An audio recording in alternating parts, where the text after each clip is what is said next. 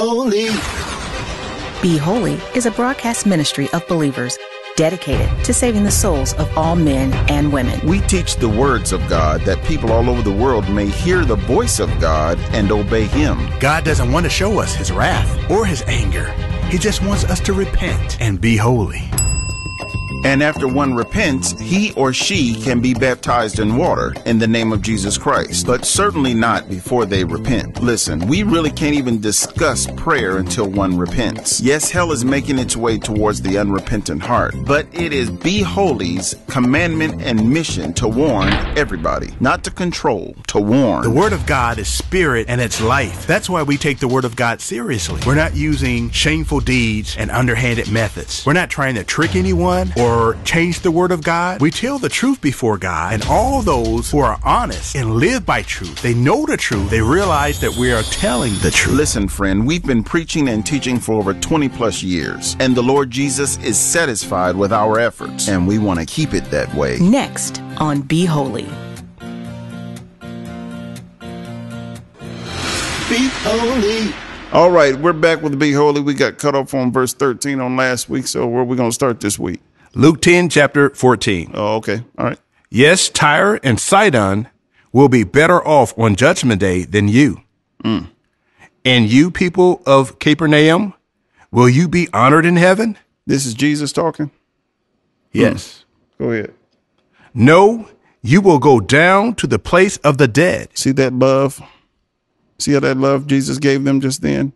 He told them the straight truth to their faces Read that part again that they would go down to hell. No, you will go down to the place of the dead. Mm. oh, yeah, you're going. And God told him the truth, didn't he? He did. Go ahead and read. Verse 16. Mm-hmm. Then he said to the disciples, Anyone who accepts your message is also accepting me. So if they accept the disciples' message, they're accepting who? Jesus. Mm. So if they're accepting the disciples' message, they're accepting Jesus. Yes? Yes. And Jesus said this himself. That he did. So the disciples immediately told the people when it's as far as coming into the kingdom, repent and be baptized in the name of Jesus Christ. And the people did that then they accepted Christ. Yes. So if they didn't or refused to be baptized in the name of Jesus Christ, refused to repent, refused to be baptized in the name of Jesus Christ, talking about it doesn't matter, then they haven't received Christ. Hmm. They have not received him because they did not believe and obey what the disciples said. Right. The disciples told you what Jesus said. And Jesus comes back and says, if they believe you, then they believe me. So if you don't believe the disciples, then you sure enough don't believe God. You don't believe Jesus. Because he told you, I'm going to go straight to Jesus. People trying to say things like that, they'll say things like, uh, when it comes to simple things like baptism, who are you going to obey, Jesus or Peter? What did Jesus just say? What did Jesus just say? Anyone who accepts your message is also accepting me. So you can't even go to Jesus for your message.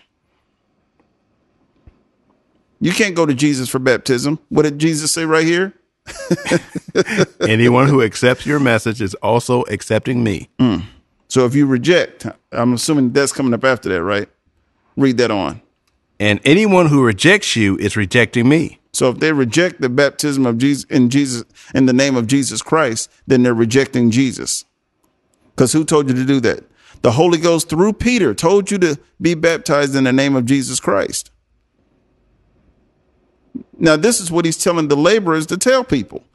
He's telling them what to say, telling them what to do. And if this is the response you get, you do this. If you get this other response, then you do that. And if they say, if the people who don't receive you do anything, this is what they're really doing. But if those who receive you do anything, this is what they're really doing. He's giving them the, the synopsis of this is what's happening in the world.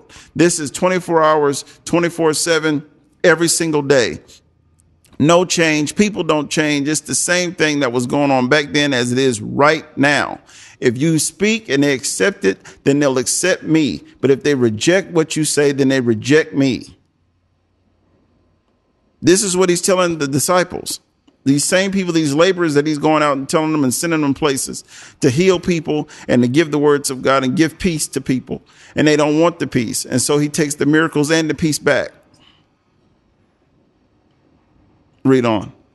And anyone who rejects me is rejecting God Listen who to- sent me. Listen to that. So if you reject the sacrifice or the body of the sacrifice, Jesus Christ himself, you're you're rejecting who? God. God. Because God was in that flesh, reconciling the world back to himself. So you're not really rejecting Jesus when you say you don't believe Jesus. You're rejecting God. Well, I don't believe Jesus. I'm just going to be a Muslim. No, no, no, no, no, no, no. You can't go to God and disrespect and leave Jesus. No, no. When you're talking to Jesus, you're talking to God. He said, when you've seen me, you've seen the Father. Ain't no change, ain't no difference. Jesus was God in the flesh, God living in flesh amongst us so that we could see him. Remember, we're going to see what he really is later, but we saw him as a man on earth. But if you reject what he's telling you to try to get you out of this earth, because he's going to destroy earth and heaven, if you didn't know that, he's going to destroy this earth and the current heaven, and he's going to have a new earth and a new heaven. And his whole thing was to save those who would obey him out of this world so that they would be with him in the next world. And if you reject what he's saying, you're going to go the, out the wrong door. You're going to exit out the wrong place. You're going to end up in the wrong place. And when you end up in the wrong place, that means you have rejected God. He sent people to tell you what he says.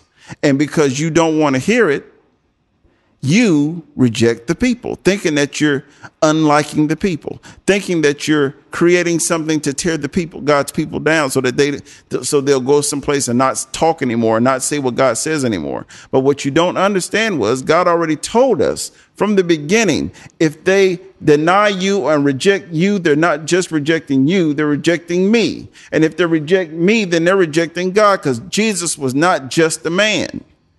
Jesus is God. But he's telling the laborers how to look at him and how to deal with people.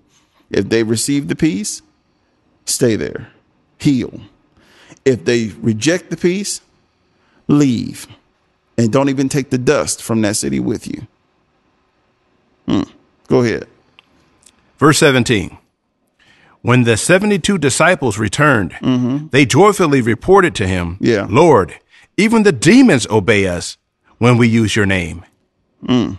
Even the demons obeyed us when we used your name.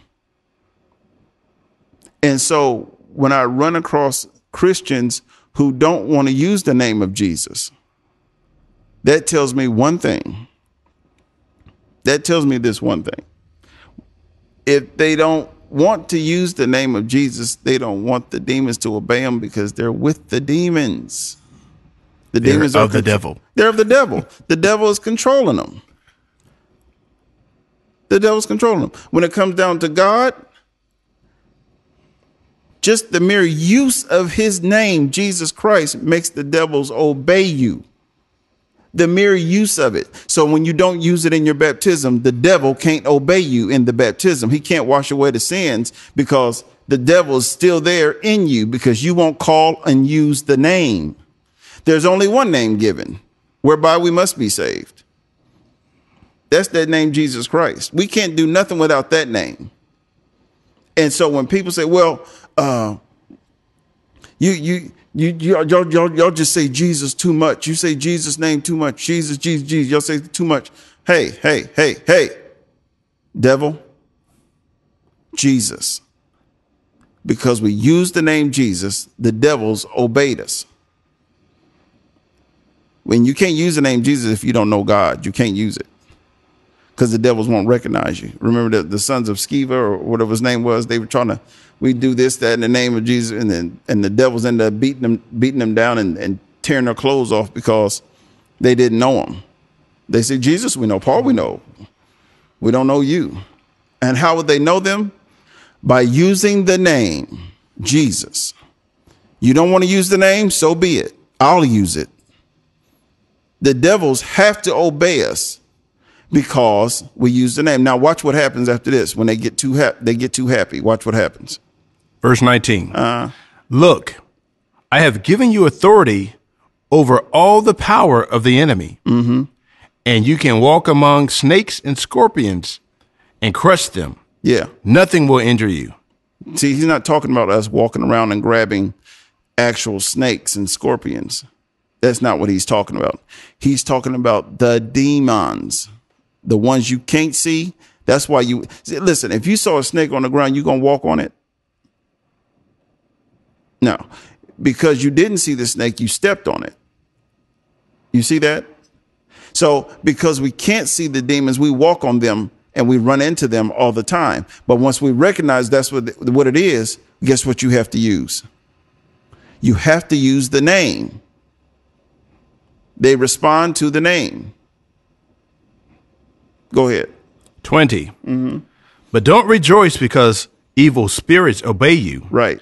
Rejoice because your names are registered in heaven. Registered where? In heaven. Hmm. Registered in heaven. Registered in heaven. Most people don't even know that their name is registered in heaven. Or is supposed to be registered in heaven. Think about this. If it's already registered in heaven, God's not going to judge us because our names are already what? Registered in heaven. The ones he's going to judge are the ones who are not registered in heaven. That's what we keep trying to tell you. If you just stop sinning and stop going and doing what the devil suggests for you to do, things you might want to do. The devil can't make you do anything, but he can suggest it. And if he suggests the right thing and you're weak enough to go do it, then he can talk you straight into sin. But if he can talk you into sin, he can help you lose your salvation or keep you from salvation. But we, as the children of God, the sons of God, we bring bring to you the words of God to remind you of this is what is this is what God has said, and you're not going to get away from it, regardless of how much you feel and and what anybody else has told you. You have to do it the way God says it, and if God has said that thing, if God has said that thing, you and you obey that thing, what He said, then you're registered in heaven. That is the key. Be registered in heaven. Thanks for listening to Be Holy with your host, LaNardo Butler. Join the discussion on Facebook at Be Holy Broadcast. Our Be Holy podcast is at Podbean or contact us at beholy116 at gmail.com or 614 268 7757. Thanks for listening to Be Holy with your host, LaNardo Butler. Tune in next week. Be holy.